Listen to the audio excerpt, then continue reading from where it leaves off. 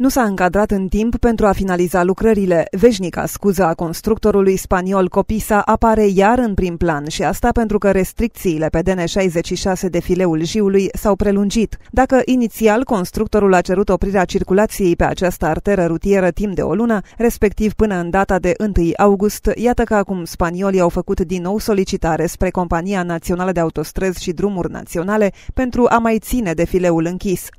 Sigur că da, sunt lucrările care se efectuează de derocare și mai ales de perforarea versantului în vederea montării uh, fixării plaselor și a versantului, lucrări deosebit de complexe și în mod deosebit la kilometrul 119, acolo la pasaje de calea ferată, se lucrează și la devierea drumului, se translatează drumul 4 metri spre Jiu, se coboară nivelul, vor fi chiar una sau două zile când 3-4 ore va fi efectiv închisă circulația atunci când se va lucra în zona respectivă.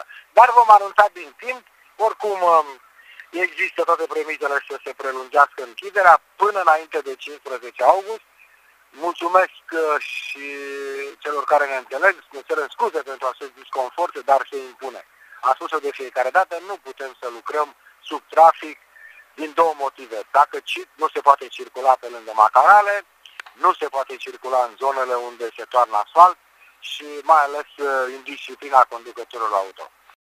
În aceste condiții, pentru încă două săptămâni, șoferii care sunt nevoiți să tranziteze de fileul Jiului trebuie să o facă în weekend sau pe timp de noapte, pentru că drumul este închis de luni până vineri între orele 9 și 18.